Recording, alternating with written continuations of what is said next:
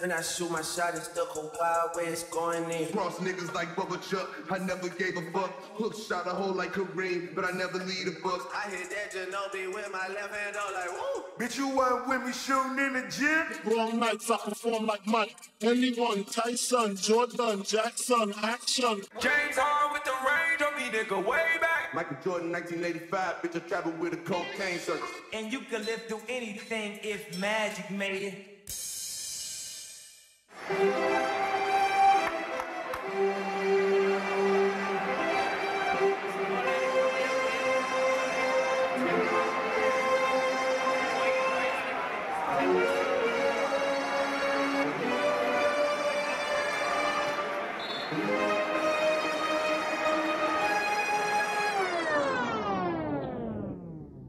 me tell you something. New York is back. I'm out here. The fucking place is packed. Gorgeous. The food is terrific. It's the only fucking place to be. Where the fuck? Gonna be in fucking Palm Beach with the bunch of Wall Street assholes? We want to be here with the real people, man. Workers, hard people. The greatest, the greatest town that ever was, man. Fuck everybody else. It's New York only.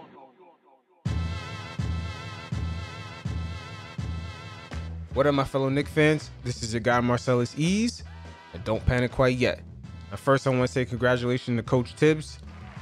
Well deserved. Yes, sir. Yes, sir. He squeezed every bit of juice out of this roster that he could this whole season.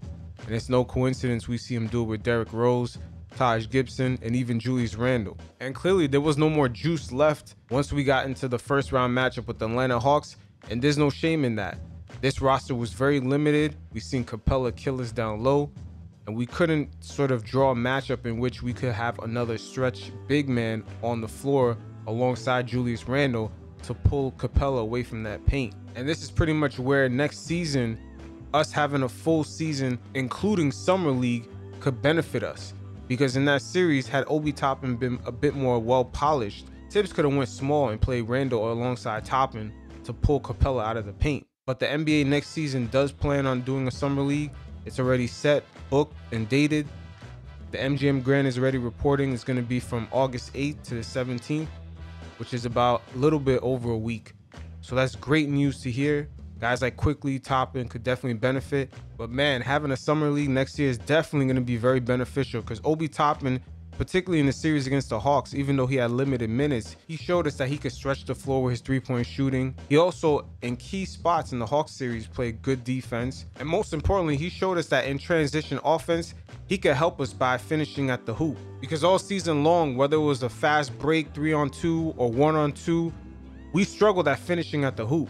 We've seen a lot of clunkiness happen, guys not finishing at the rim. And, you know, with his high flying skills, this definitely can help us score a lot of those transition points. So Summer League has its role. I know sometimes that shit is boring as hell, but at the end of the day, whatever the young guys were working on during the offseason, whether it's their dribbling moves or certain jump shots, they can at least put it in play in a live game during the summer league. It allows them to practice these things. And last season, we've seen guys literally come fresh off the draft into like one or two preseason games and then tossed on into a really condensed season. But overall, we've seen a lot of flashes from Quickley and Obi Toppin, which is great to see.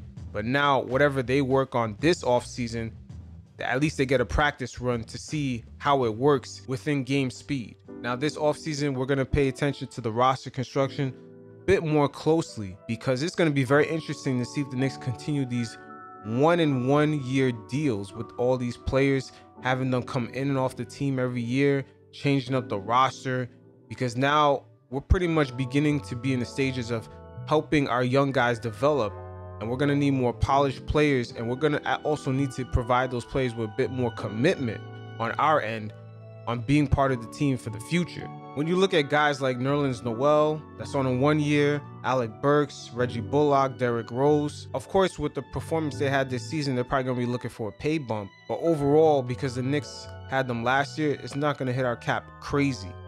But at the same time, we also have to look down the road. Are we trying to make a splash this offseason with a possible trade? Because there's barely any good free agents. Or are we trying to at least show some sort of commitment to certain guys to build around our key guys like RJ and Randle to be at least a consistent team going on for the next four to five years. Now, I know this is something a lot of Knick fans don't want to hear because we're used to the old way of just making a big splash during free agency or a trade, and then we tend to try to figure out the rest later. But once again, because of this year's free agency list is so bleak, there's no major splashes, we're probably gonna have to take the slow and steady pace and try to work with what we got or try to find key role players here and there to fit into the team and try to at least try to commit to them somewhat long term so we could develop some chemistry.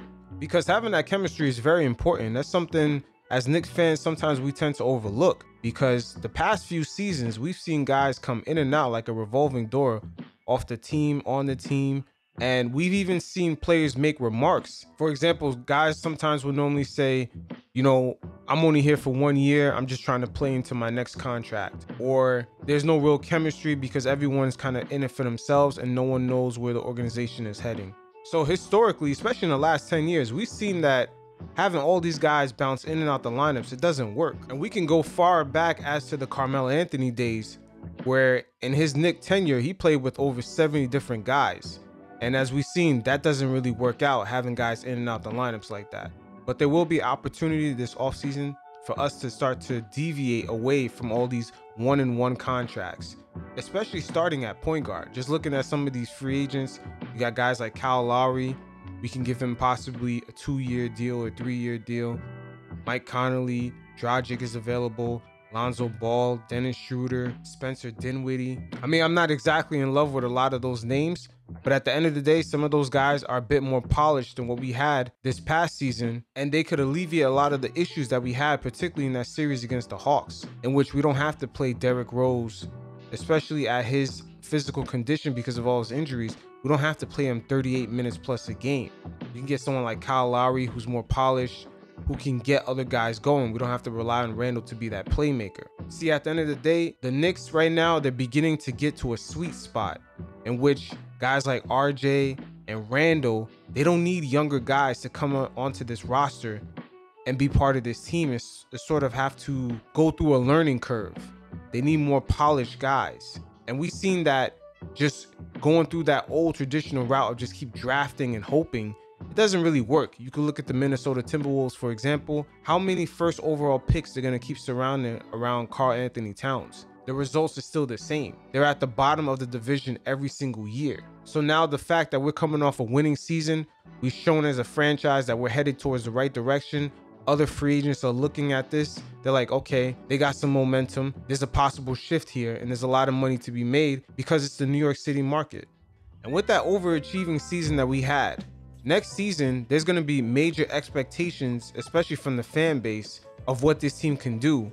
And we're going to see how these players perform under that pressure. See, it's one thing to perform when no one expects anything of you, but now that the fans expect a certain level of winning, a certain level of performance, a lot of these guys are now going to be put under that test. And it's a great place for Leon Rose to begin to make that shift and start committing to some of these free agents and really start building some of this chemistry up for the long term.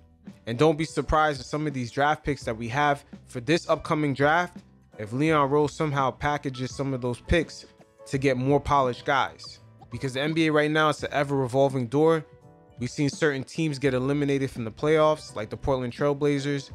And there's going to be other teams. And some of them going to have to come to the grips of reality of what is the future of their teams and have their teams already peaked. So certain guys are going to begin to be entering the, the trade market.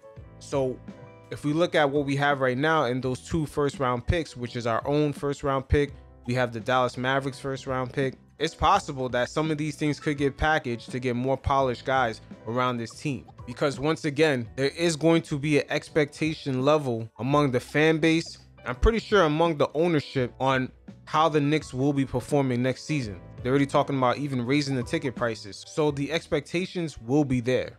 Now we talked about some of the external forces the Knicks will be facing this offseason, like trades and free agency. Let's talk about some of the internal issues that the Knicks are going to have to come to grips with, and we'll see which direction they take.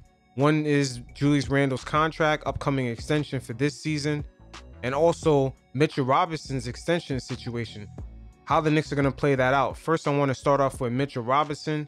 Of course, the Knicks have him on a great deal. It's only $1.8 million for a year.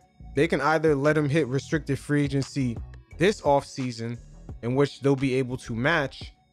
Now, this could work out well if the Knicks are able to pull off a trade and perhaps get a max deal guy like Damian Lillard. This is just an example. Or they go after another big name player that's going to take a lot of cap. Then, even though that superstar play takes up a lot of cap space, and won't matter because the Knicks are allowed this offseason to go over the cap and re-sign Mitchell Robinson.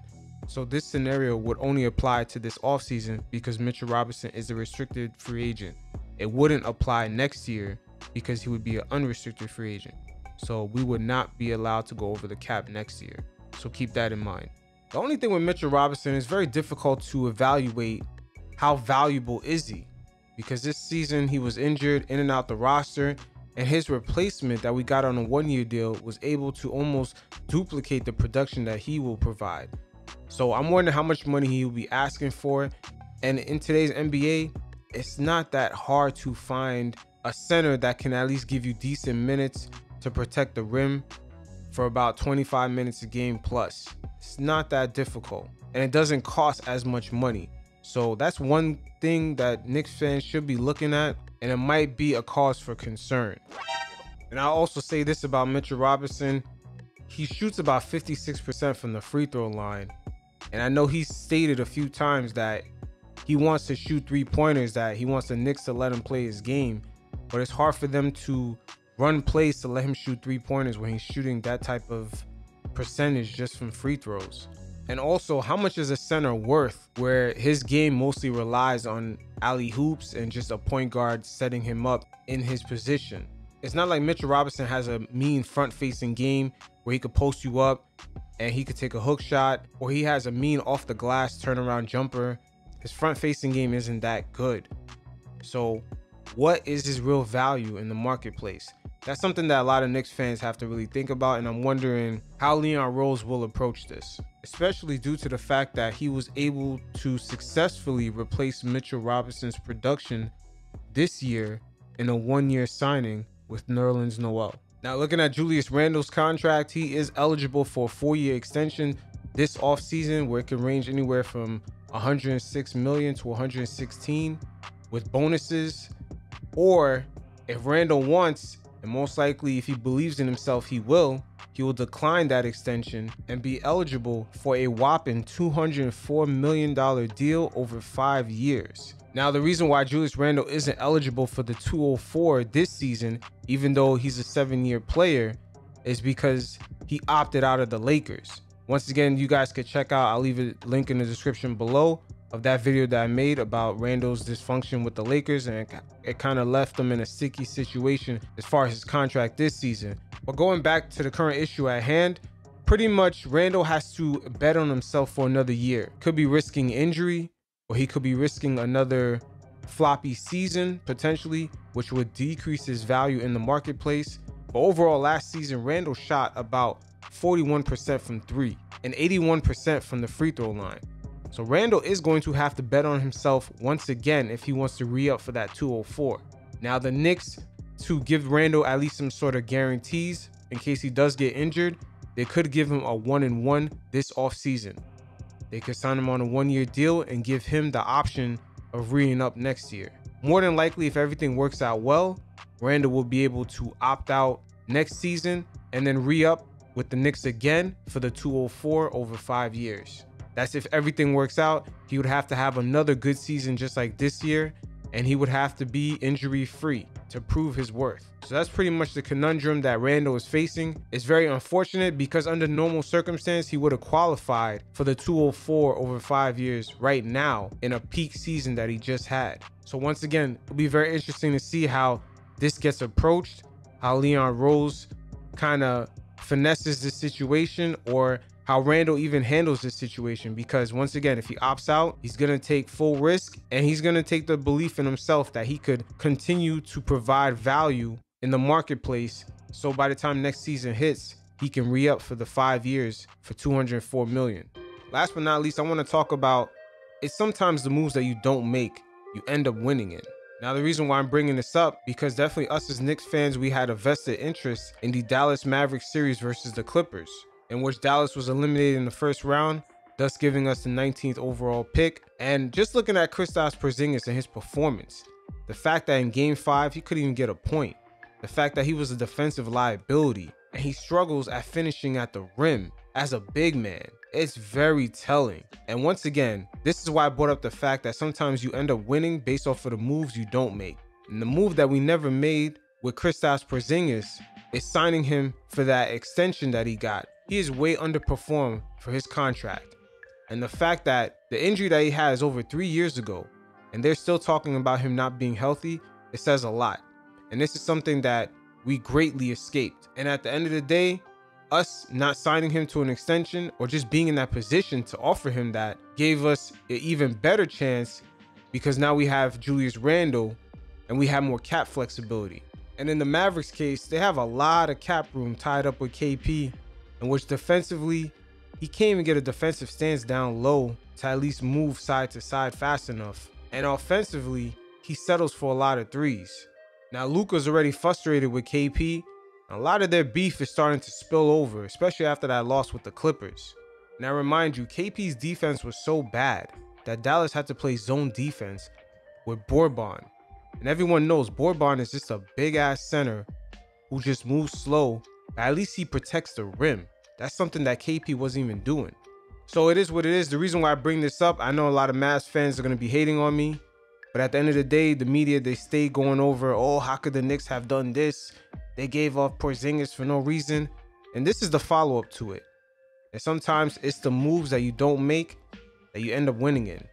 And we still have two first round picks of the Mavericks, being the 2021 first round pick of the Mavs and the 2023 first round pick of the Mavs. So it is what it is. Dennis Smith Jr. was a wash. The other players are pretty much wash. Tim Hardaway Jr. looked like he worked out better for the Mavs than the KP part of the trade once again, it is what it is. Like KP said when he got traded from the Knicks, the truth shall come out. And the truth definitely has come out. After that injury, your stamina is still questionable. You still can't post up smaller guards than you. You suck at protecting the rim. And potentially the surgery that you had, they might have botched it. Because the fact that you can't get down low in your defensive stance is really questionable.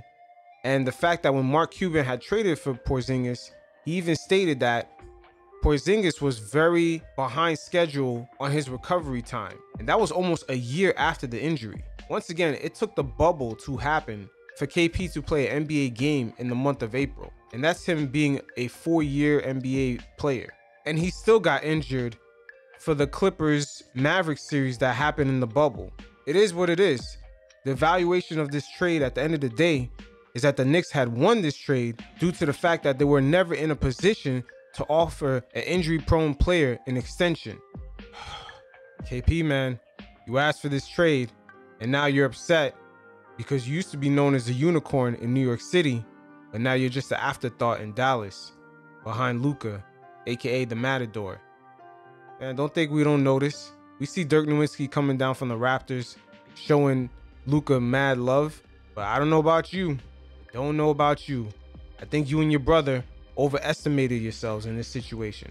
So it is what it is. You guys got pretty much lost in the sauce. Miss in the sauce. Can't trust the stamina of a seven footer that gets his clothes ripped by a five foot guy in his own country. You look like you want some mama's cookie. Until next time, you guys stay safe. Peace.